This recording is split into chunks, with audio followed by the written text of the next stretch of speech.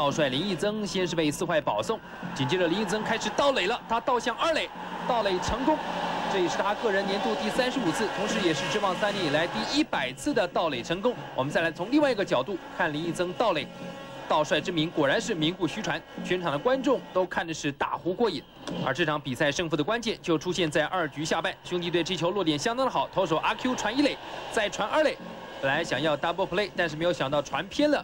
反而形成了一二垒有人，紧接着吴福连大棒一挥，挥到了左外野方向，一支漂亮的全垒打，一口气拿下了三分。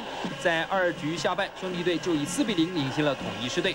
当比赛进行到五局上半的时候，战况又有了变化。统一队靠着安打连连，跟兄弟队手背上的失误，球员登站上了一垒。紧接着宇文生这一球打到了左外野方向，一支漂亮的安打。两位跑者奔回本垒得分，再加上曾志珍一支阳春全垒打，一口气拿下了三分。不过最后统一师还是以三比四败给了兄弟象队。